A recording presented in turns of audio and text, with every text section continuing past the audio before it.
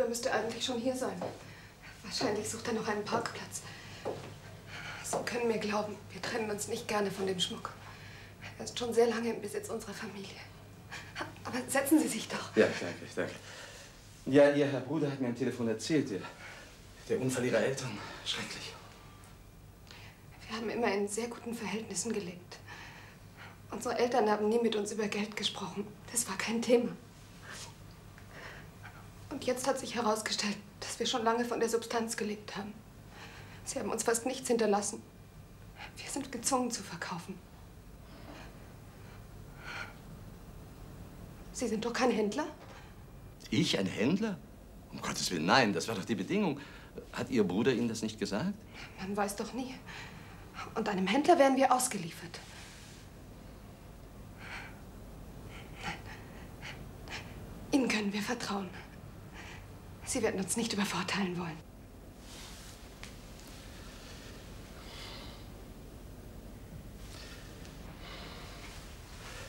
Ich ganz bestimmt nicht. Sie Ärmste. Tja, ähm, wenn ich den Schmuck jetzt sehen dürfte, seien Sie versichert, ich, werde zahlen, was er wert ist.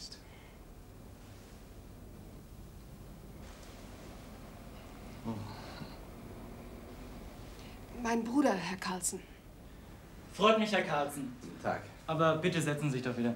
Hat meine Schwester Ihnen schon... Äh, Ihre Frau Schwester hat. Es tut mir außerordentlich leid, aber... Tja, ich denke, wir sehen uns den Schmuck jetzt an.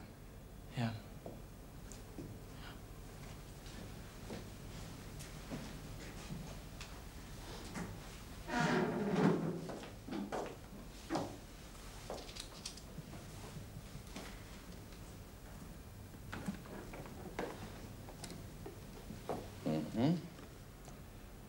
Darf ich?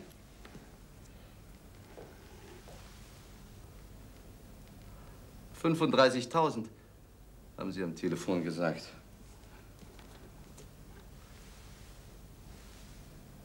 Er ist es wert. Ihr mehr. Ich zahle Ihnen 40.000.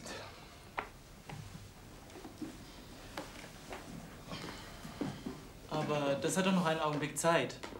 Schauen Sie, ich kann mich nur sehr schwer an den Gedanken gewöhnen. Sie trinken noch einen Schluck mit uns? Gern, aber nur einen, ich muss ja noch fahren. Was möchten Sie? Einen Whisky. Einen kleinen, bitte.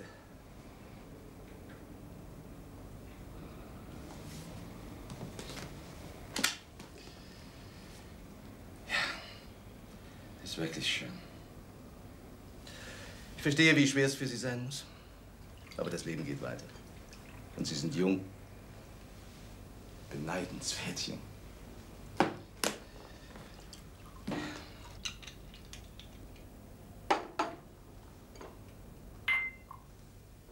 So. Dankeschön.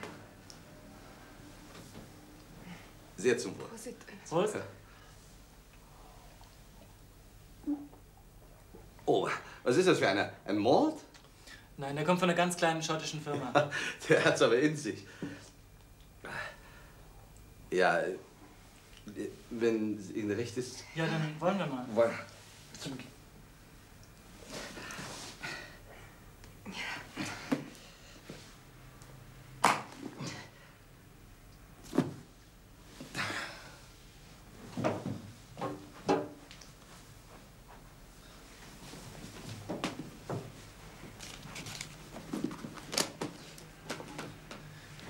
Mensch, komm.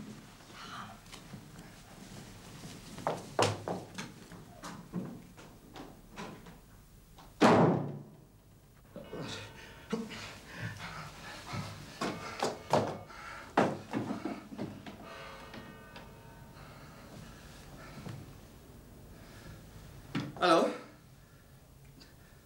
Hallo?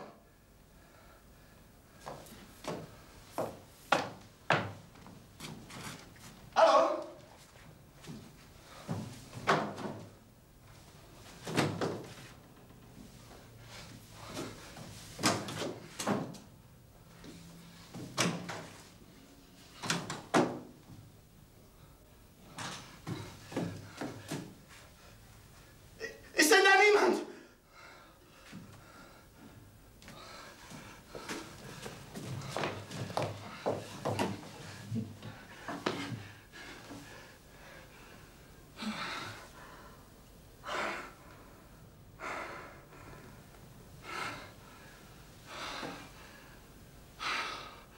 Doch eine Unverschämtheit. Ein Zynismus ist das. Wieso soll mich trösten, dass ich nicht der Erste bin? Im Gegenteil, meine Herren, ganz im Gegenteil, das regt mich auf.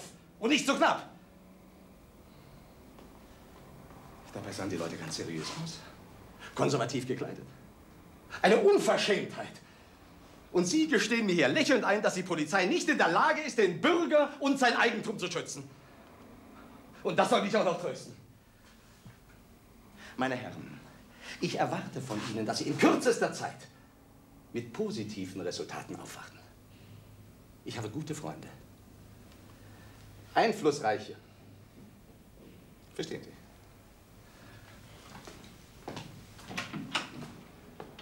Guten Abend. Also, ganz so Unrecht hat er allerdings nicht. Na, am Anfang war er mir ja sehr sympathisch, aber wenn der sagt, ich habe gute Freunde, einflussreiche, sag einmal, der kann mich doch gern haben. Was will denn der Depp überhaupt?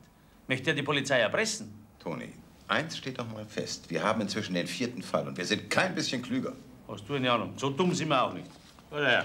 Erstens, die Annonce. Günstige Gelegenheit, sofort Bar, Chiffre, sowieso. Zweitens, die gemietete, komfortable Wohnung. Dann drittens, das Getränk mit dem Betäubungsmittel. Und viertens, die rührende Geschichte von den tödlich verunglückten Eltern und der plötzlichen Notlage. Und fünftens, die Person. Die Beschreibung von Körpergröße, Figur und Gesichtsform stimmen weitgehend überein. Bei der Darstellung von Frisur und Haarfarbe gehen die Meinungen allerdings weit auseinander. Ist doch klar. Die machen Maske. Ja, so schlau bin ich auch. Das erleichtert unsere Arbeit natürlich ungemein. Und Studium der Zeitung hat uns keinen Schritt weitergebracht. Vielleicht doch. Ich habe eine Annonce gelesen. Ist ein paar Tage her. Und da hat was nicht gestimmt. Das ist mir ein bisschen komisch vorgekommen und deswegen habe ich auch geschrieben. Ja, und? Heute früh habe ich einen Anruf bekommen. Eine Gräfin Baseko. Uralter Adel, wie sie sagt. Aber ganz eine junge Stimme. Sie müsste ihren Familienschmuck verkaufen. Umstände halber. Wie ich Ihnen schon sagte, Herr. Wie war doch Ihr Name? Fröschel. Ach ja, Fröschel. Wie ich schon sagte, ich muss den Schmuck leider verkaufen. Aus familiären Gründen, über die ich nicht sprechen möchte. Sie verstehen, ich muss auch Sie um Diskretion bitten, ob wir uns nun einigen werden oder nicht. Diskretion ist doch selbstverständlich, gnädige Frau. Und falls Sie Händler sein sollten, müssten wir dieses Gespräch leider als beendet betrachten. Nein, ich bin kein Händler, das dürfen Sie mir glauben. Ich bin mehr Sammler. Mein Hobby sind Raritäten.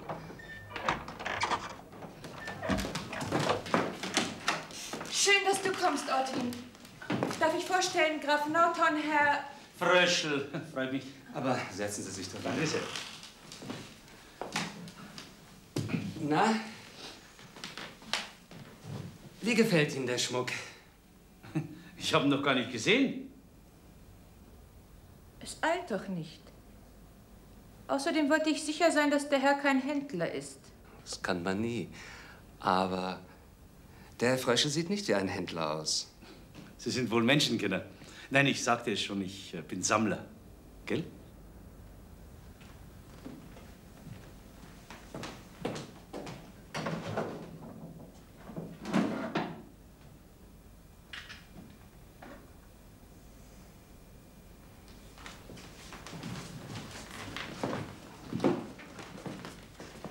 Oh ja, das könnte mir schon gefallen.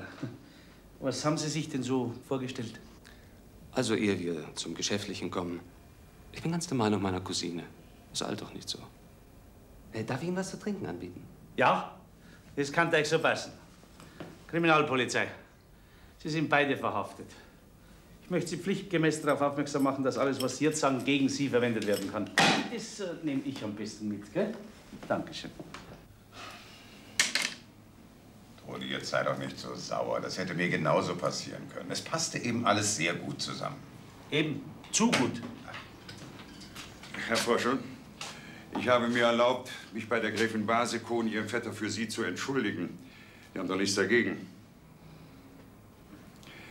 Ich verstehe, dass Sie wütend sind, obwohl Sie eigentlich gar keinen Grund haben. Es wäre mir wahrscheinlich genauso passiert. Oh. Es freut mich, dass es Sie erheitert. Nun, meine Herren, was gedenken Sie zu tun? Herr General, Sie kennen diese Bilder, nicht wahr? Ob ich sie kenne. Was soll ich damit? Falls Sie wissen wollen, ob ich jemanden kenne, der so aussieht. Unzählige. Und keinen. Ich habe mir diese Bilder auch immer wieder angesehen und dabei ist mir ein ganz bestimmter Verdacht gekommen. Darf ich die Herren wohl zu einem Experiment bitten? Das dauert gar nicht lange, ist alles vorbereitet. Frau Endler, wir sind im Computerraum. Ist recht, Herr Kettwig. Bin gespannt, was der computergläubige Kettwig aus seinem technischen Zylinder zaubert. Wahrscheinlich Kaninchen. Was? Ich meine, unverdauliche Lochstreifenkaninchen. Was? Fabelhaft. Also mich brauchen Sie ja da nicht mehr. Ich hoffe, Sie sind zufrieden. Jedenfalls entspricht das doch weitgehend dem von Ihnen gewünschten Resultat. Ja, sehr interessant. Also Sie können ganz beruhigt sein. Ich habe da nichts manipuliert. Ich habe nur Ihre Daten eingegeben. Es war auch für mich ganz interessant. Ich hoffe, Sie lassen mich wissen, welchen Erfolg Sie damit haben. Sie haben uns sehr geholfen, Herr Professor, nicht wahr, Herr Steiner? Ja, ja, sehr. Vielen Dank, Professor Korte. Also dann darf ich mich wohl verabschieden, meine Herren. Wiederschauen, Herr Professor. Wiedersehen. Wiederschauen. Jetzt schauen Sie sich dieses Bild mal genau an, meine Herren. An wen erinnert Sie der? Bitte mal, das, das ist ja der Thomas Landauer. Eben. Der Lieblingsschüler von diesem verrückten Kunsthistoriker. Professor Schulze-Locht. Genau der.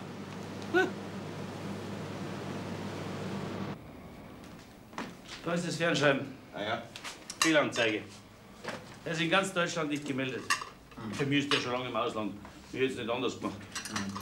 Stell dir doch mal vor, was muss in dem Buben vor sich gegangen sein. Der hat doch an seinen Professor geglaubt. Und war überzeugt davon, dass er was höchst Verdienstvolles zur Rettung der Kunst tut. Und was hat er gekriegt? Ein Jahr Gefängnis. Mit Bewährung. Ja, da kann er sich was kaufen dafür. Von der Uni haben sie ihn auch rausgeschmissen. Ich war auch ins Ausland gegangen. Ja, das sagtest du bereits. Wenn er aber nun wirklich untergetaucht ist, das würde eigentlich zu dem Mann passen, den wir suchen. Ja, aber dein Computer kann sich doch einmal irren. Erstens, Toni, ist es nicht mein Computer und zweitens irrt sich nicht der, sondern nur der, der ihn auswertet. Klar? Es kommt doch auf selber raus, oder? Geh, wo schaust du denn wieder hin, Kettwig? Auf die Rosen sollst schauen. Äh, ja.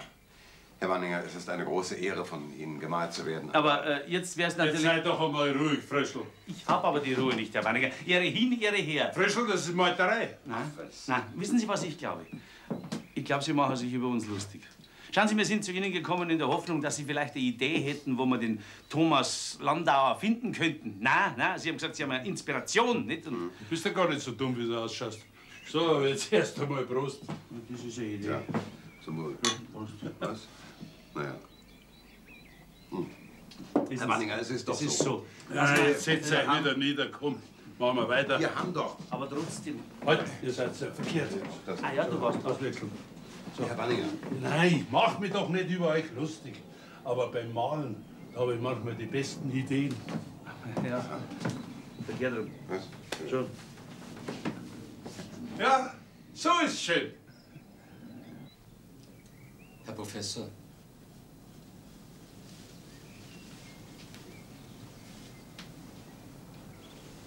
Herr Professor, wir haben Besuch.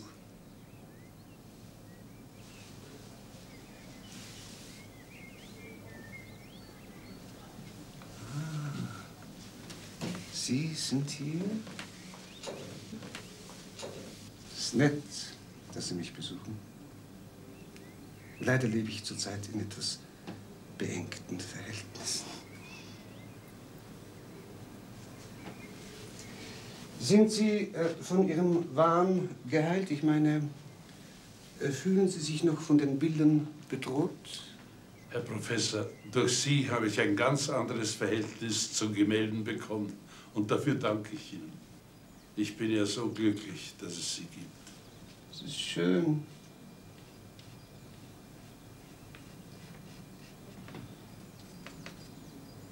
Das hat mich sehr gefreut.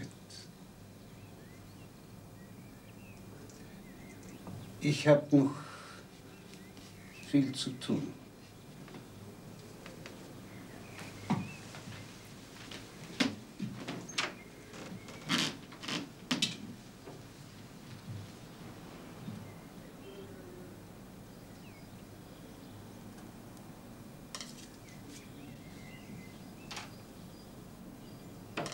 Gerade jetzt durchläuft er wieder eine Phase von ausgesprochenem Glücksgefühl.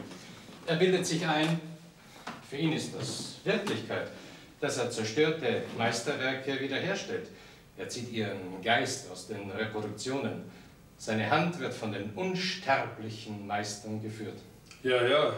Aber was mich interessiert, Herr Doktor, das sind seine Besucher. Kriegt er denn überhaupt Besuch? Ja, ein junger Mann war öfter bei. Es scheint einer seiner Studenten zu sein. Aha. Tja, ich möchte Sie bitten, für einige Zeit niemand zu ihm zu lassen und auch niemandem Auskunft über ihn zu geben. Gell, Herr Doktor?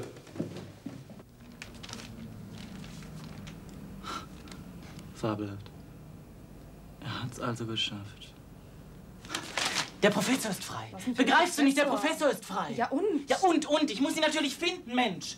Sie müssen ihn für seinen Verfolgern retten. Der ist doch überhaupt nicht verrückt. Das ist doch alles du spinnst Komplott doch gegen wohl. ihn. Silvia, wir müssen ihn mit nach Argentinien nehmen. Da ist er vor seinen Verfolgern sicher. Was geht uns dein Professor an? Was mich der Professor angeht? Komm, ist deine Sache gut, aber mich geht da nichts an. Dafür habe ich nicht mitgemacht. Ich habe schließlich eine ganze Menge riskiert, doch nicht für deinen bescheuerten Professor. Sag das nicht nochmal. Ich habe das von Anfang an für ihn getan. Ohne ihn wäre ich überhaupt nicht nach drüben gegangen. So, von Anfang an. Meinst du nicht, das hättest du mir sagen müssen? Von Anfang an. Das wäre doch wohl fair gewesen. Ist doch jetzt egal. Ich muss ihn erst mal finden, bevor die ihn wieder zu fassen kriegen. Du hast du doch wohl nicht alle. Ja, also schreib schon. Gläubiger Thomas, bitte melden, 12 Uhr mittags. Münchner Kunstführer 22. Und Sie glauben, so eine, so eine Zeitungsannonce hat Erfolg? Doch, das glaube ich schon. Der sucht doch jetzt seinen Professor. Aber wenn ihr was Besseres wisst. Aber, ich meine, 12 Uhr mittags, was soll das heißen? Jeden Mittag um 12, bis er kommt. Aha, und Sie meinen, der Thomas ist so gläubig, dass er 12 Uhr mittags dann da ist. Ne? Hi nun? Heiner. Hört's doch auf mit dem Blödsinn. Und du lass jetzt die Annonce in die Rubrik Bitte melden setzen. So lang, bis sie gewirkt hat. So lang? Na, du bist natürlich ein Ungläubiger, Thomas. Münchner Kunstführer 22.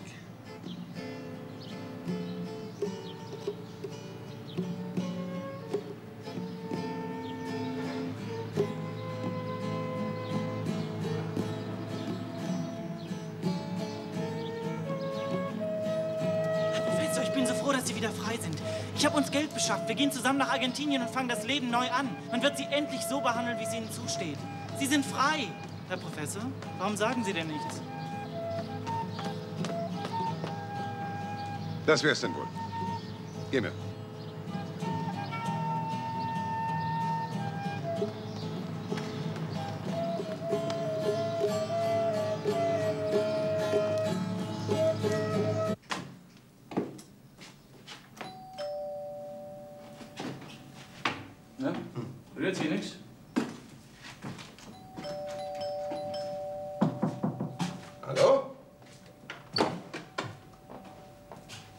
Grüß Gott. Wir möchten gerne zu Fräulein Silvia Martens. Das ist doch richtig hier. Was? Äh, nein, meine Tochter, die ist nicht da. Aha. Ich weiß auch nicht, wann es kommt. Die frisiert aber noch Privatkunden. Nach Feierabend. Hm. Das dauert meistens lange. Soll ich was ausrichten? Na, bemühen Sie sich nicht. Dankeschön. Ja, schönen Dank. Wiederschauen. Wiederschauen.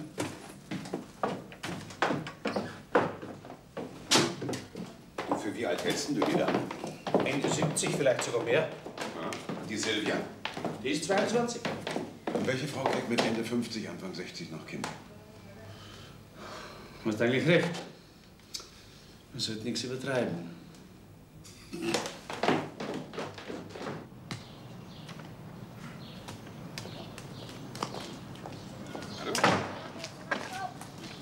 Wie wär's? Fahren wir vielleicht mal um den Block rum? Ja, ich weiß, was du meinst. Vielleicht verlässt in Kürze eine ältere Dame hier dieses Haus, hä? Na? Wäre das eine Möglichkeit? Ja. Danke. Dann fahren wir.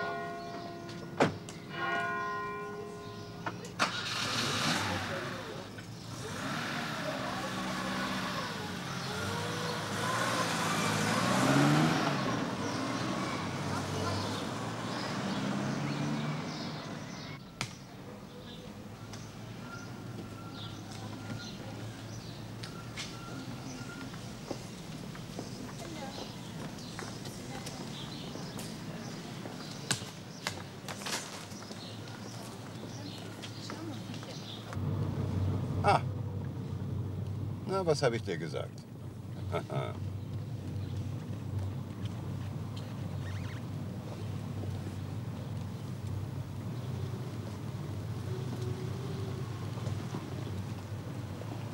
Aber Oma, Sie können doch nicht so schwere Taschen schleppen.